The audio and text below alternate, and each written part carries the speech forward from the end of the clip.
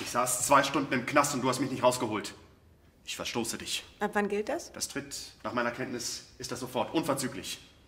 Gut. Das Kind bleibt bei mir, denn Hauptsache Alessio geht's gut. Anni, Ja, die auch, wem auch immer. warum tust du mir das an? Damit dieser wahnsinnig langweilige Plot endlich ein Ende findet. Von wem ist der eigentlich? Fontane. Tane. Nie gehört.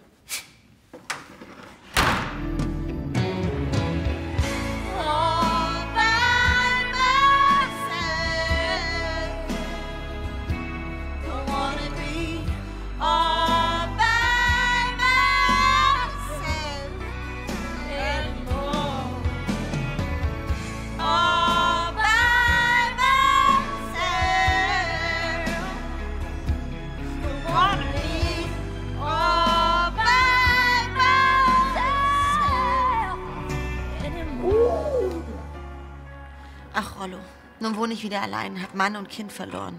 Aber immerhin hältst du noch zu mir.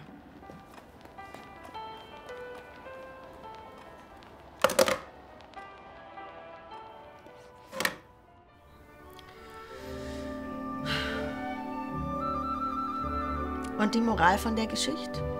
Am Ende gewinnt der alte, weiße, privilegierte Mann und die Frau nicht.